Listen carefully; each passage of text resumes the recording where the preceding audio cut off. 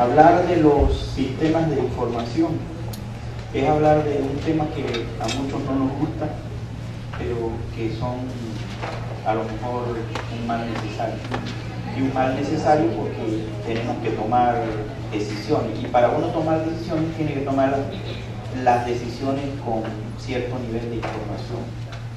Aunque aparentemente uno puede tomar decisiones sin información. Entonces ahí es cuando uno dice, llama a un amigo o consulta público en general. Puede utilizar otras herramientas que no son las formales, ¿no?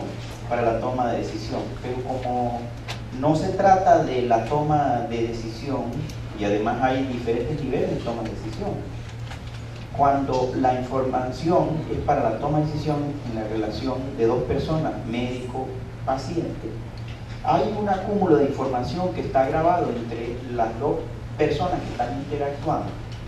Pero resulta ser que los eventos que estamos manejando nosotros, eh, en este caso llámese la salud de la madre y del, niño, tienen eh, una implicación no solo individual, sino una implicación colectiva. Entonces ahí hay que recurrir, a la sistematización de la información. Es decir, no vale el, tema comunicacional entre dos personas, que es muy valioso, no se le resta importancia, pero eh, hace falta sistematizar. ¿Y por qué sistematizar?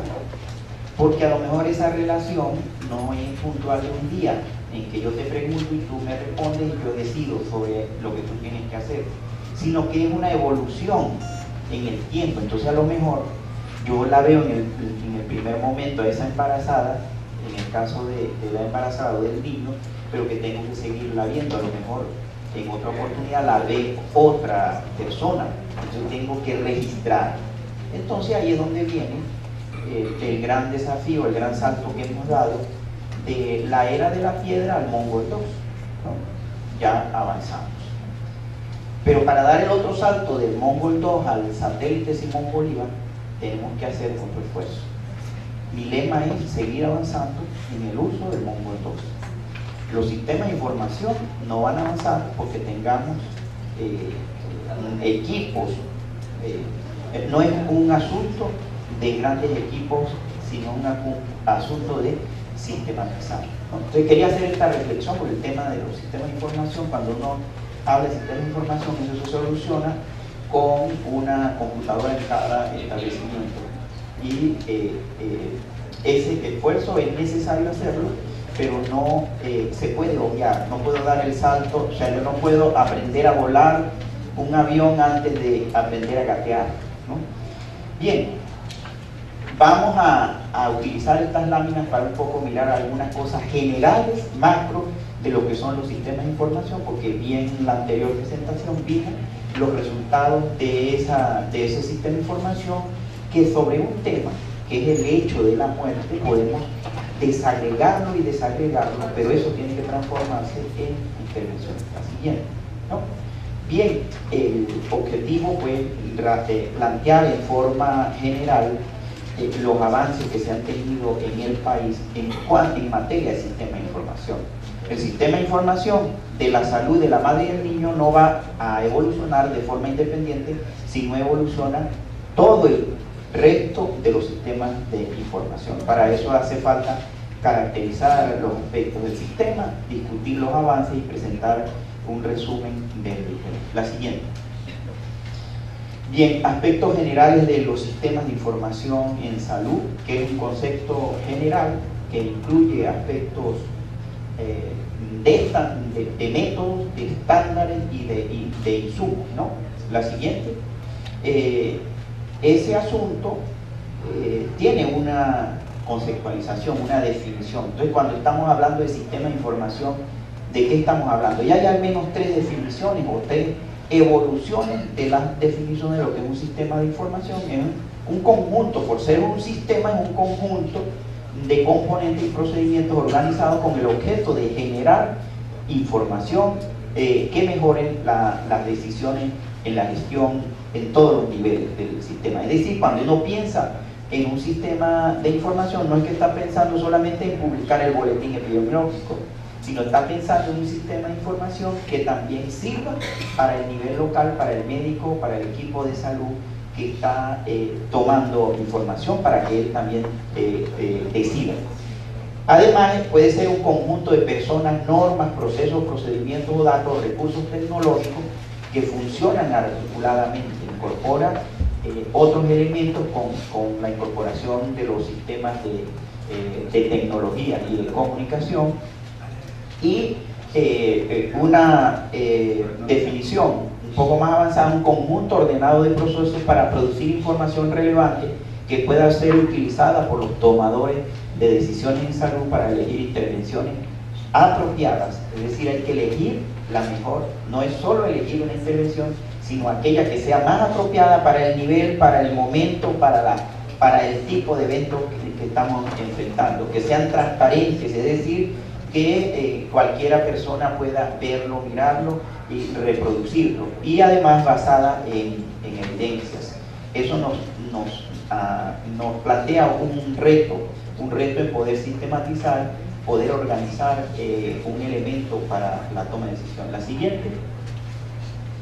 Bien, eh, los objetivos en este caso que estamos hablando de un sistema de información es la toma de decisión, la identificación de factores de riesgo es decir, eh, eh, hemos visto eh, una presentación en relación al evento final, que es la muerte materna o la muerte infantil, pero que hace falta avanzar en los sistemas de información o los sistemas de vigilancia hacia identificar y caracterizar, por ejemplo, los factores de riesgo para poder implantar las medidas de control o las intervenciones sobre los factores de riesgo y no sobre el evento muerte el análisis de situación de salud, ¿verdad? Eh, la identificación de la capacidad de respuesta institucional, para eso también hace falta el sistema de información de recursos humanos o de administración es tan útil para la adecuada toma de decisión, es decir, un sistema de información adecuado para la toma de decisión en reducción de mortalidad materna también tiene que contar cuántos somos los que estamos en la batalla. Entonces, ese sistema de información que tiene recursos humanos no es para cobrar el 15, el último y el pique, sino que tiene que ser incorporado para la toma de decisión para poder reducir. Porque eh, si estamos planteándonos un, un programa, un sistema, y si tenemos un ejército a lo mejor concentrado en un área y eh, poco concentrado en la otra área donde es donde se nos está presentando el problema. Entonces fíjense la importancia, porque pensamos, no, las oficinas de recursos humanos están allá y no las miramos como una fuente de información, el que lleva la muerte materna por acá. Igualito el tema de, la, de, los, procesos administrativos que se dan en cada uno de los niveles, eso también tienen que ser incorporados en la toma de decisión. ¿no? Evaluar los servicios que se prestan, no solo prestar el servicio, sino evaluar el impacto que eso está teniendo en la reducción. ¿no? Y ajustar las capacidades institucionales a las necesidades de los trabajadores y de los, y de los usuarios. La siguiente. Bien, los, sistemas de información eh, eh, mundialmente, internacionalmente, están basados en unos componentes, ¿no?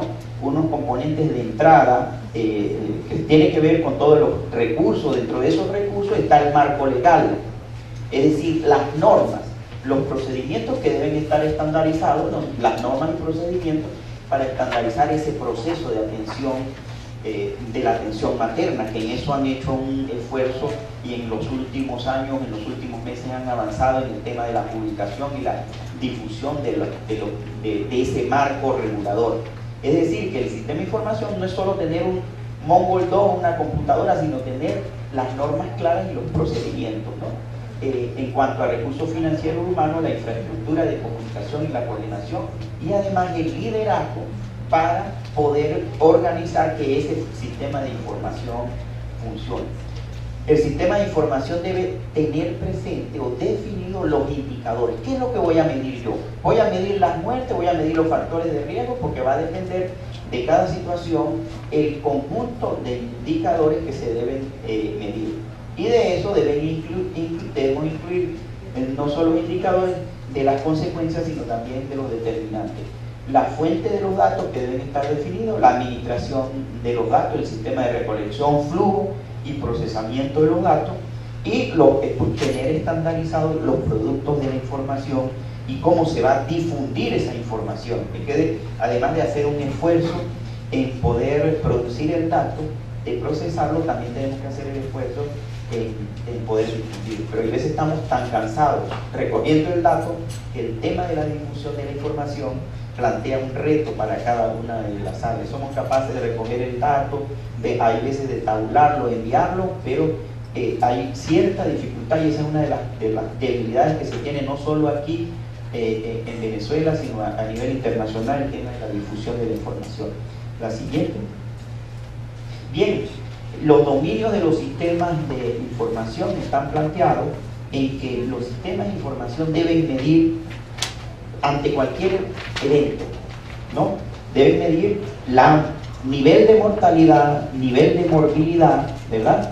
La morbilidad eh, eh, obstétrica que se ha planteado en, este caso es un componente, pero también debe medirse la discapacidad que produce eh, un evento, una emergencia obstétrica, deberíamos tener mediciones no solo de la de las que se mueren, sino las que sobreviven pero quedan con alguna lesión. Entonces ese sistema debe incorporar también la medición de ese componente y medir el bienestar, porque no todas eh, eh, eh, se, mueren. Pero en medición del, del bienestar es donde tenemos la mayor dificultades. ¿Por qué?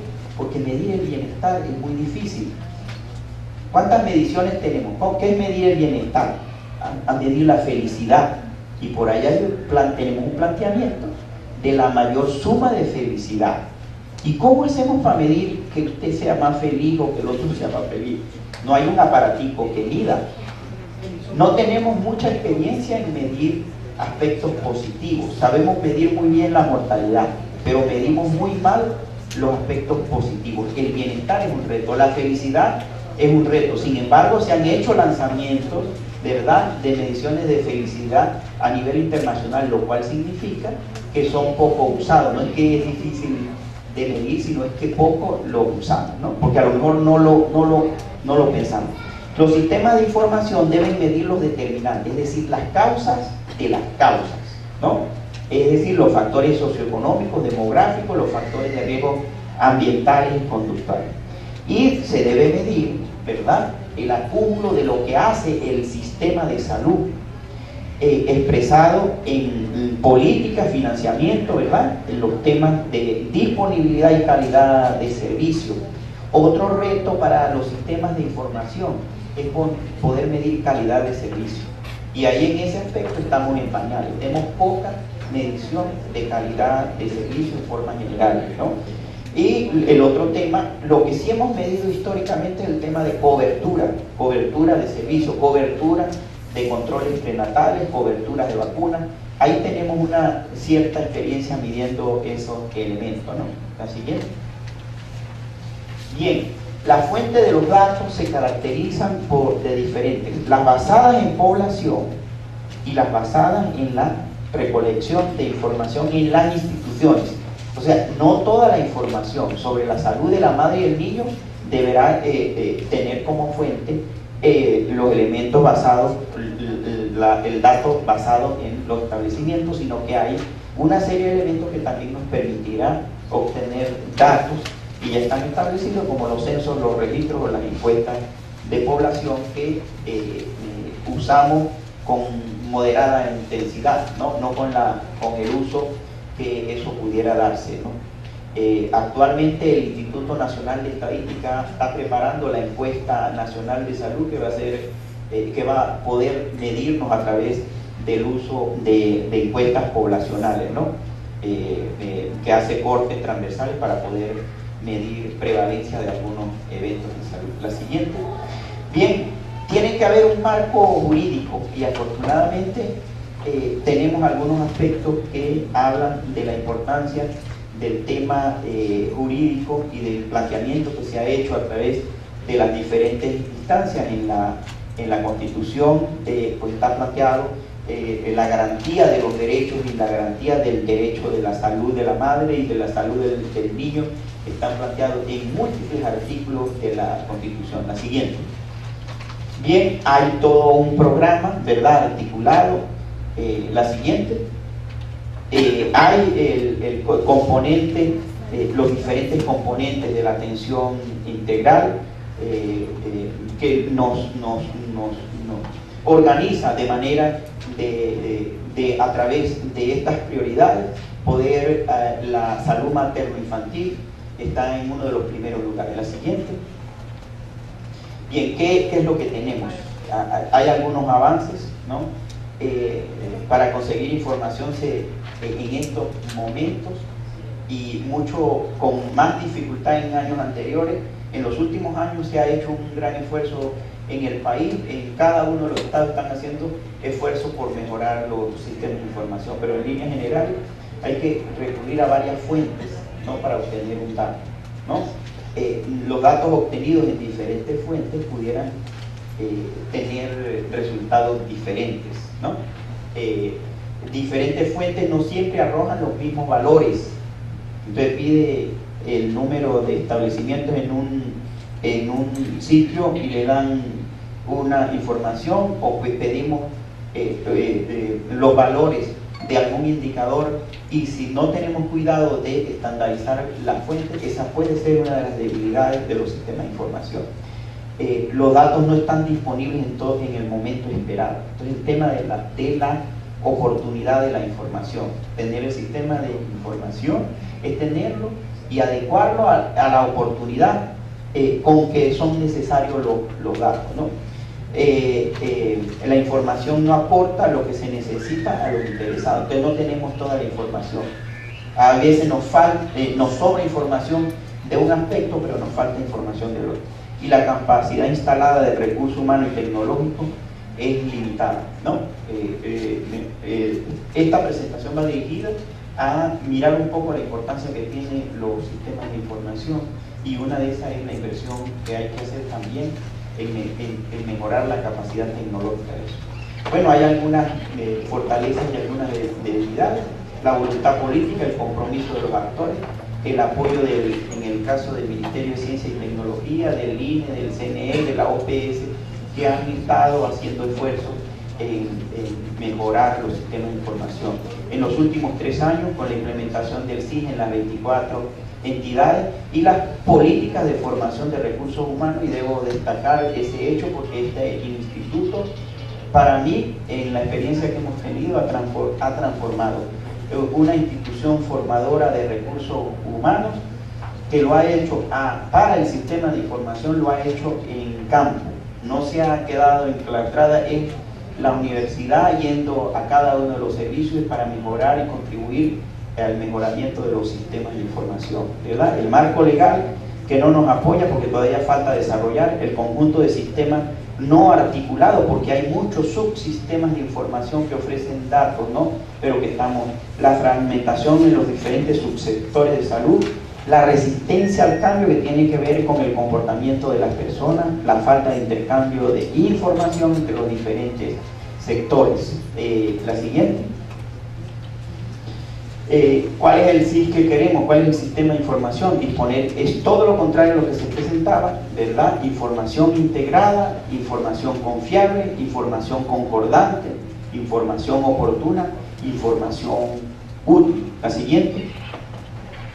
Bien, con eh, que esa información eh, tenga un énfasis y además destaque los aspectos de los determinantes que fluyan las decisiones sobre el sector salud eh, y otros sectores que también están seguramente interactuando. Ejemplo de ello, por ejemplo, es la reducción de la mortalidad por diarreas en niños menores de un año.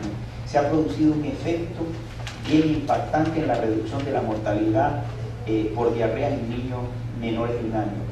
Esto atribuido a dos factores. A uno, el mejoramiento de la disponibilidad del agua potable el porcentaje de familias que tienen disponibilidad de agua potable en el país ha aumentado, eh, ha aumentado considerablemente y si uno se fija en la, la tendencia de la mortalidad eh, eh, infantil por diarrea ha tenido un impacto. ¿no?